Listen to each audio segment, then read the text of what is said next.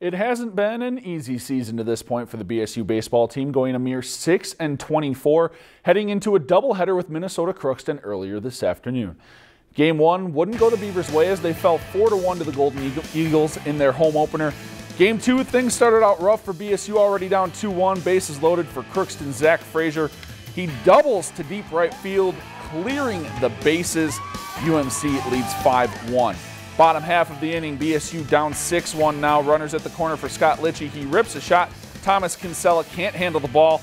Joey Hanowski scores. BSU still down four, though. Bottom seven, Beavers trying to mount a comeback down six. Hanowski up, and he puts a charge into one to deep left center and gone.